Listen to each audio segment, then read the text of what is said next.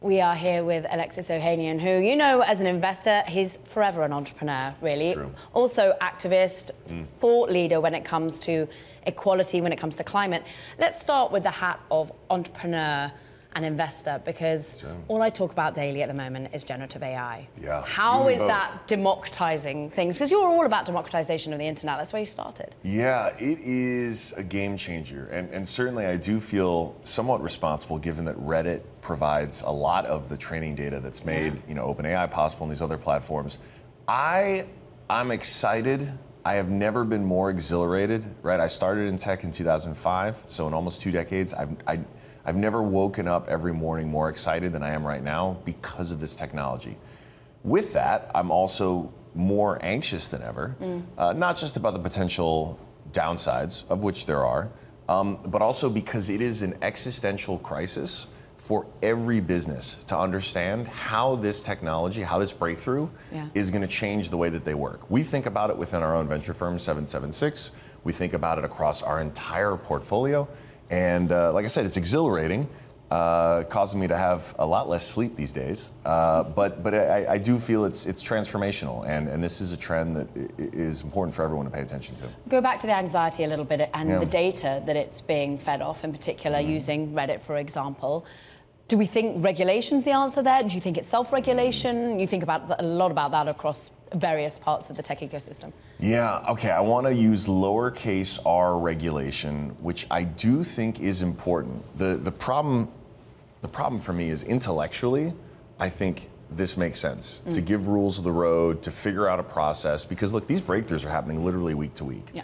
The part that gives me pause is I've seen enough meetings down at the Senate interviewing, you know, heads of, you know, pick your favorite social network, where folks were so ill-equipped they didn't even know the business model of Facebook. Remember that infamous Senate meeting? Like, my concern is the very people who should be at the forefront of understanding this technology in order to figure out how we could properly create those rules of the road are among the least informed.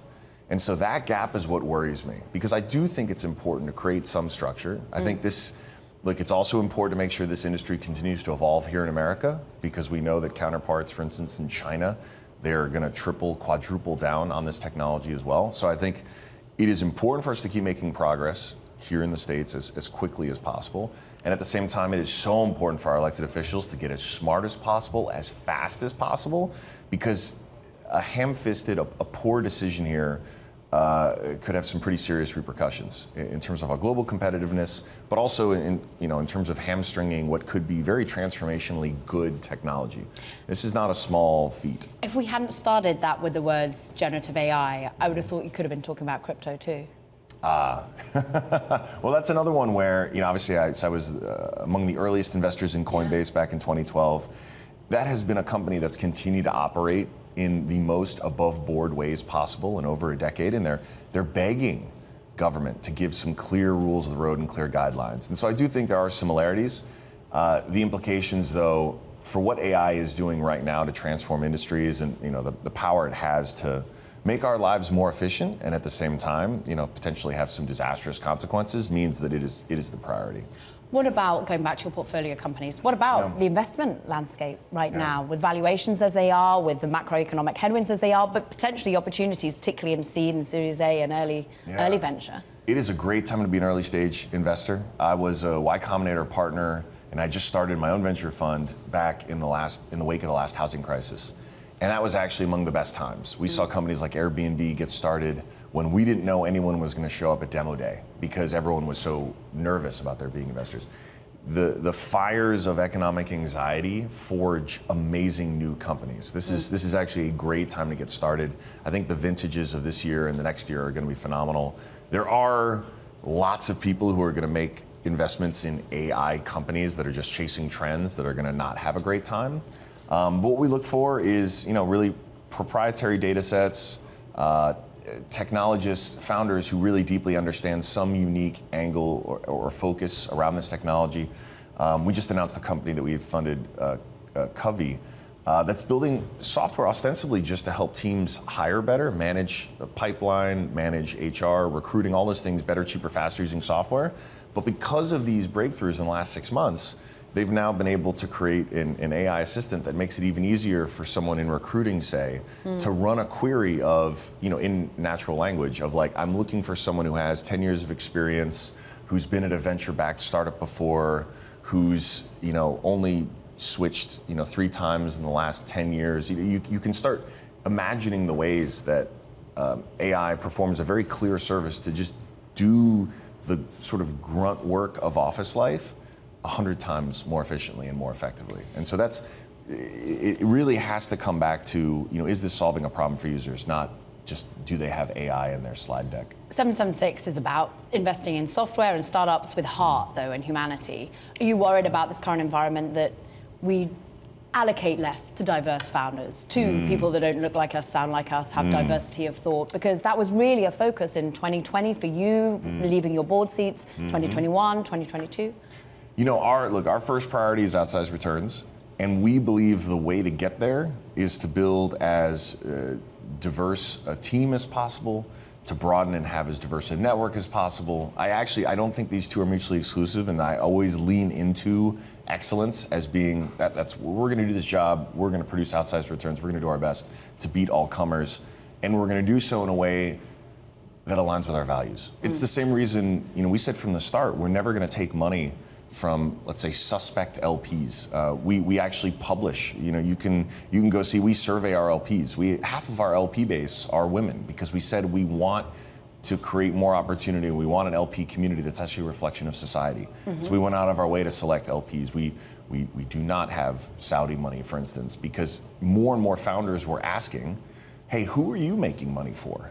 And it actually turns out, even three years ago, and especially today, it's, it's a competitive edge to say we are being so intentional about even the money that we raise that I think in the long term, the very best founders are thinking more and more about this. Uh, and, and if you look at the sectors right now that are doing well, climate tech is one of the ones that just continues to grow, even amidst all this sort of uh, nervousness. Um, we have climate tech companies that are still they're they're getting up rounds literally right now.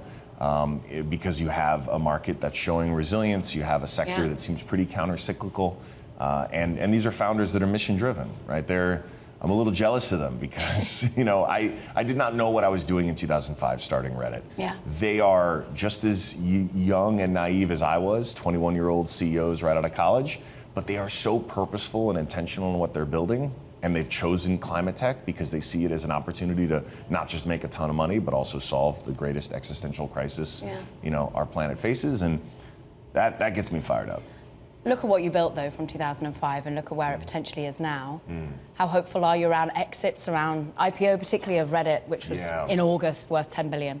yeah uh, look i certainly can't comment on any ipos I, it seems like this market i don't know could it open up by the end of the year? I don't know. I don't spend a lot of time thinking about it but i do know uh, these days i'm so grateful. Most people who stop me on the streets now are actually you know in the past they would shout out reddit they'd thank me for that but these days honestly it, it's more often been angel city Yeah, sports. Uh, and who would have thought a women's football club could be a big part of my legacy? But I actually, it's it's either that or pancakes. uh, Yes, that, I love that those. people, yeah, that's what that's what that people seem to resonate with, and I'm I'm perfectly fine with that. I, I, I'm grateful actually. Look, you share your pancake making through Yeah. social media, Yes. whether it be on Instagram, Instagram stories, but also you're on Twitter. I notice you have a blue check. Yeah. How do you feel about Twitter as an ecosystem and whether you pay for subscriptions? Uh, well, I clearly pay, uh, but it was also they were. You weren't gifted by Elon. I thought Elon did not hook me up. uh, this was this was interesting because, you know, we talked about this a lot in in Reddit, and verification is such a sticky thing, and I actually appreciate the fact that, you know, for a company to go in and say, hey, I'm going to pay for this because it's meaningful for companies, right? We have a 776 has a brand justification for wanting to have verifi- verified, you know, check mark just by saying like we're the real one, we're not an imposter. Um, and then by delegating the responsibility of those blue checks, like it's a no-brainer for me as a business expense to say I'm going to pay for 776 to have this, and I'm going to pay for all my employees to have it because I don't want anyone impersonating any of us. And it's you believe that that is believed? yeah, I, well, I realize the culture around it is muddy, but I try to look at this stuff from, from first principles. The the whole why behind blue checks started because of celebrity, right? Yeah. It was you know probably Ashton Kutcher. I don't know who we could we could Google this. Whoever was the first blue check. We should but chat GPT actually. he was a big, eh, but you know, it's not always uh, not always the right answer. There's still hallucinations uh, from time to time, but but yeah, there is this. Um, there is this. It, has been built into this idea of blue check equals celebrity, and Yeah. then and that's how it started because whatever Ashton Kutcher was the first one, and you wanted the celebrities to feel good, and so they could come on and feel like they were special, and then over time, it just metastasized into so much more, mm-hmm. and.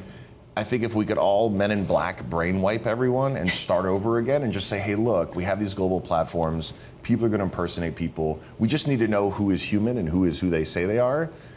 This, I think, does a pretty good job of getting to that. So if we can remove the status symbol of it and just think of it as like this is just, and I realize you can't undo the culture, Yeah. but uh, yes, I am guilty of paying for it. And but like I said, it was a business decision, and I frankly, it's more valuable to me to have everyone on our team Yeah. with that blue check mark. Because I think they're special. They deserve it. Don't tell me that my team doesn't deserve that blue check. You deserve They it, are Alexis. special.